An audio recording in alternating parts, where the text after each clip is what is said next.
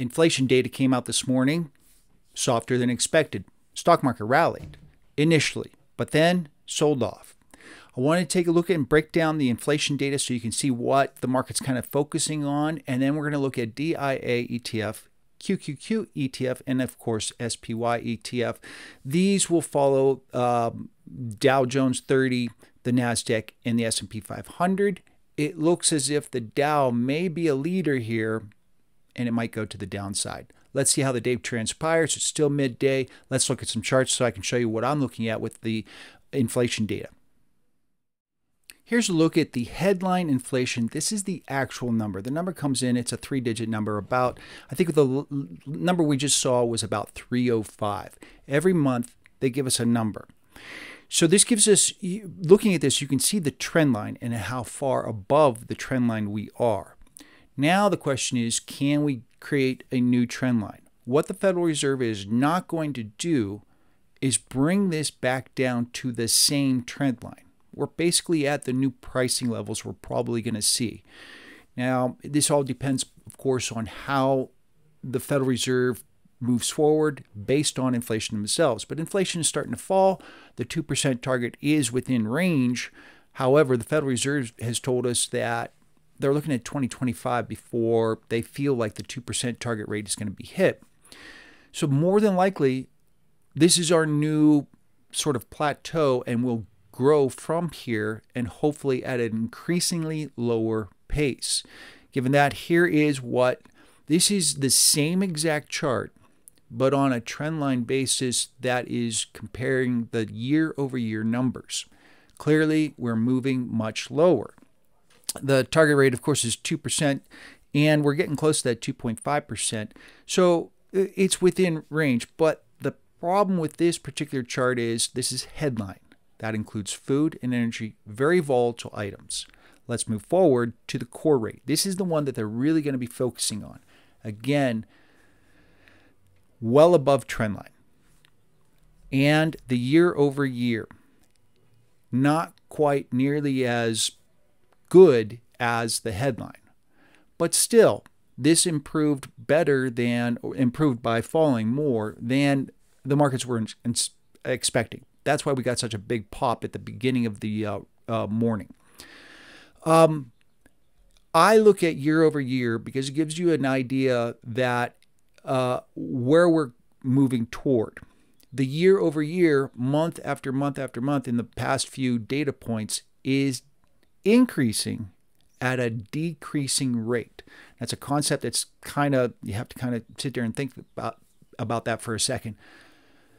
But if we are still increasing, but at a decreasing rate, and eventually that decreasing rate gets us down to 2%, we've hit the goal. But we're looking at two years out.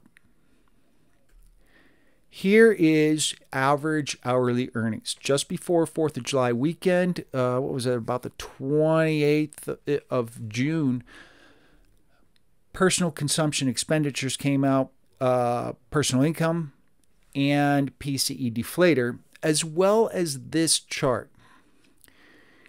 You have to kind of sort of combine these because what's happening, not only are prices elevated because of outside factors, too much money in the money supply, interest rates too low, um, the supply chain shocks. There were so many variables that contributed to this that's why we saw inflation spike up as, as much as it did. The Federal Reserve responds.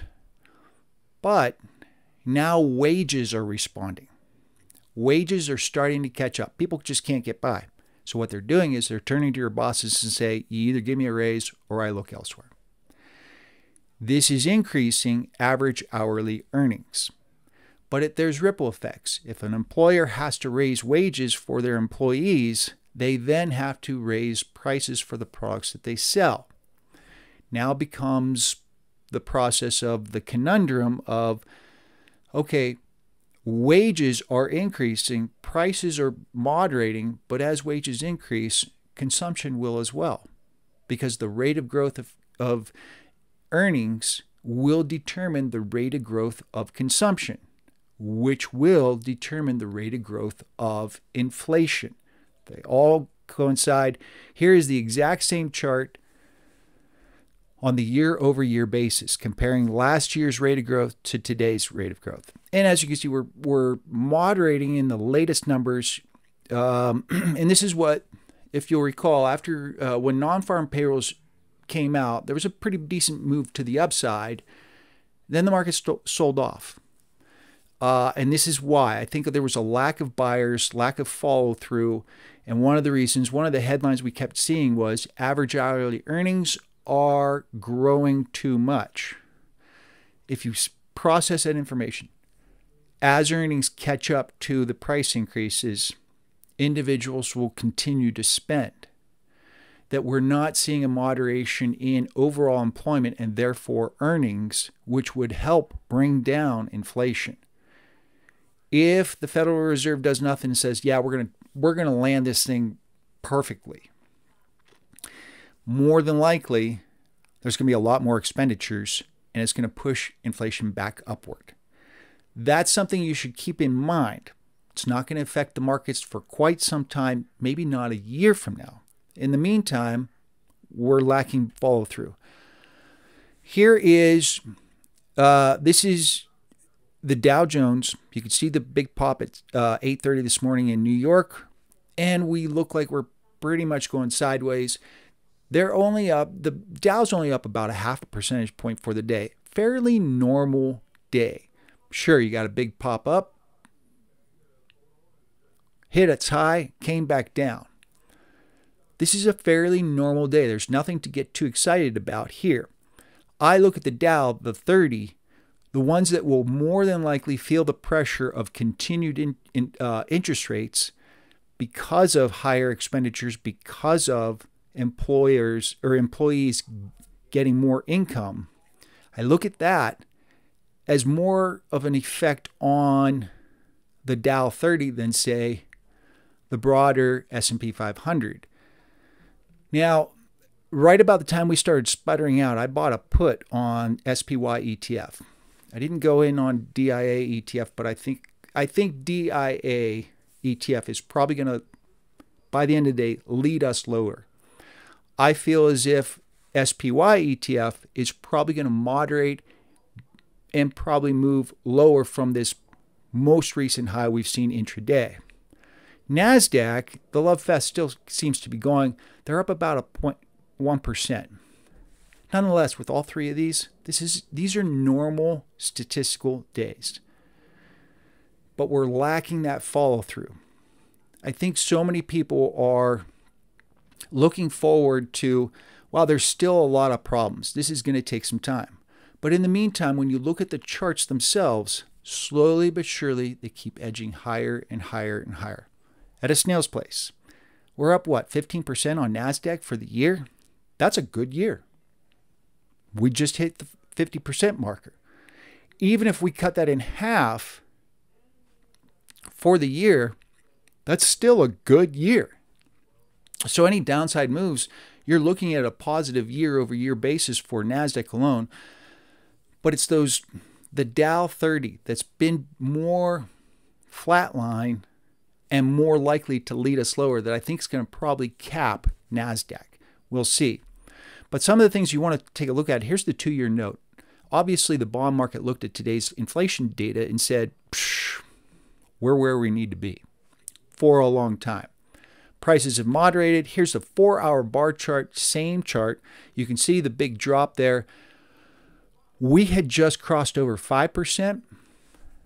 I don't think crossing over 5% again is out of the question, uh, but I don't think we probably see that for some time. It might be three, four months, six months, nine months, 12 months when we continue to get data and we see the resilience of the uh, employment sector with continued increases in average hourly earnings pushing higher, which would equate to higher consumption, which in turn is going to go ahead and push inflation. That's going to push the Federal Reserve. So for now, we may have moderated out of these ultra high levels. That could give the go ahead signal for stock buyers to step, step back in. Maybe DIA ETF finally takes a bid. Maybe. Uh, the 10 year note fell as well, not nearly as much as the two year note. And we can see it wasn't nearly as high to begin with on a, on a uh, percentage basis. Yield, this is yield you're looking at. Uh, nonetheless, the the yield curve is moderating more and more. So we're starting to see the long end of the curve kind of mellow out a little bit after catching up to where the front end is. Interest rates are going to remain higher for longer than expected. And traders are getting that message. So the longer end of the yield is starting to catch up. The two year is starting to mellow out and kind of come back down because the thinking is two years from now, the Fed will be able to start chopping interest rates. We'll see if that actually comes to fruition. In the meantime, I'm going to consistently watch these um, the yield on the 2 and the 10 because that's going to give us an idea as to what could potentially happen with the consumer uh, and then with stocks. But my thesis remains the same. We're probably going to see interest rates continue higher at some point because the Federal Reserve will get this one wrong too. They aren't at that magical number where it's like, this is perfect and we're going to land this thing perfectly. Those average hourly earn- earnings are going to play into the factor. As those uh, as that number continues to move higher and higher or keeps above the that trend line it was at, that means consumption will do exactly the same, which means price pressures will continue to move higher. The reason why, if you give your employees a raise, you have to find that money somewhere. So you raise your prices, which means consumption prices are going to go higher eventually. And sure, maybe they moderate down to 2.5%, 2.75%, but it's not that magical 2% that the Federal Reserve is going to be looking at, and they may start ratcheting up interest rates a little more and a little more. The stock market will probably start to wobble at that point and then move lower. Not much. It's not going to be a catastrophe, but we're going to moderate out. There's also other factors out there. Banks. Banks, of course, are sitting on loans for office buildings. This is one that's out there that we expect will really hit the market hard at some point. I saw a statistic on Bank of America. They're sitting on $3.1 trillion in assets, 100 million of which is considered uh, office mortgages that are now in default. That's a third of a percent. And we'll see 300 million would be 10%, so uh, a third of that, about 3% of their, their assets. We'll see how that plays out. It's going to start showing up three, six, nine, 12 months. You're going to start seeing these news uh, events come out, and it will continually pressure the stock market. Eventually, however, we should get there. For now, I think the end of the day, DIA pushes us lower. S&P 500, the SPY ETF, we probably moderate out. Nasdaq will probably remain bid a little bit. It's the AI party, fiesta. I'll keep you posted. See you in the next video.